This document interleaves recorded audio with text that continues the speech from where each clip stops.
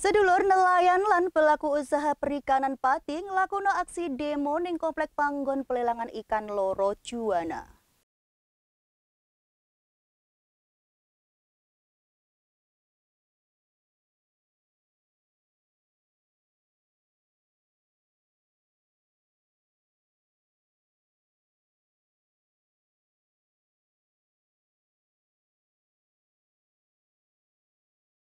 Gawa poster sing isine penolakan, esok wingi atusan nelayan lan pelaku usaha nglakon aksi demo kanggo nuntut lan nolak penerimaan negara bukan pajak sing tertuang ning peraturan pemerintah PP nomor 85 tahun 2021 lan retribusi sing beratno kabeh nelayan.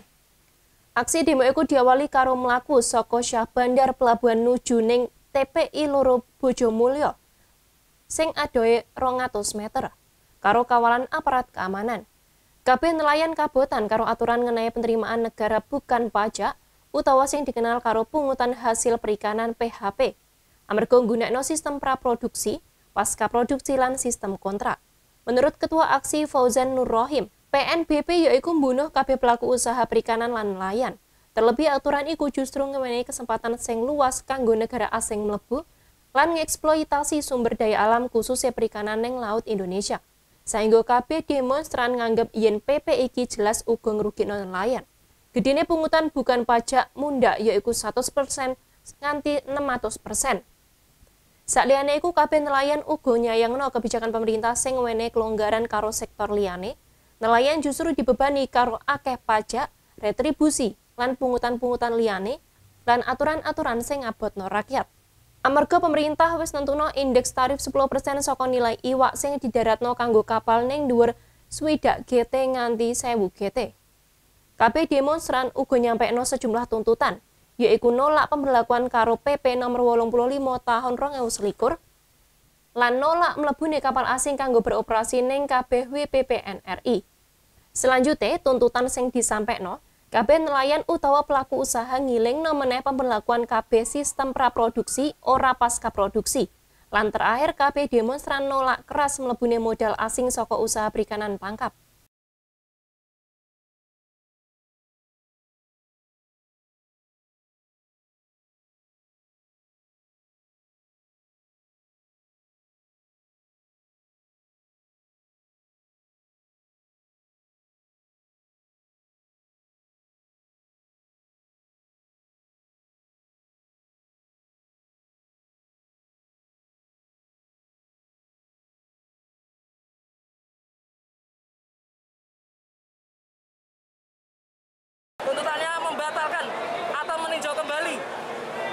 85 tahun 2021 ini karena PP 85 tahun 2021 ini sangat merugikan nelayan besarnya pungutan non pajak ini non pajak loh pungutan non pajak itu naik sebesar 100 sampai 600 persen belum lagi nelayan dibebani oleh retribusi yang tinggi target dari TPI Juana ini 11 M kepada nelayan belum lagi harga perbukalan yang tinggi.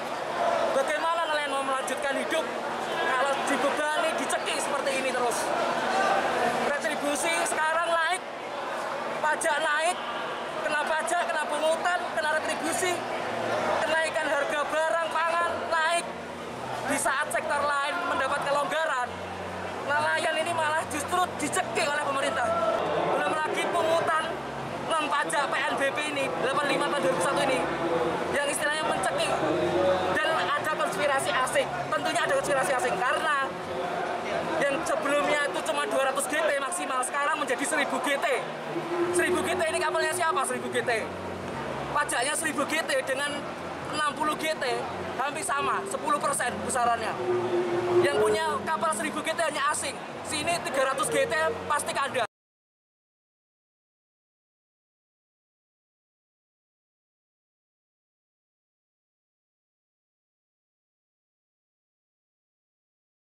Fauzan nambahno kabeh nelayan uga nolak rego pokok iwak lan desek pemerintah kanggo ganti Menteri Kelautan lan Perikanan sing dinilai kebijakane ora pro nelayan lokal.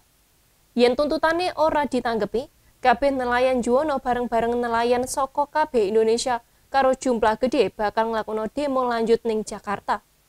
Oksanurajai Simpang 5 TV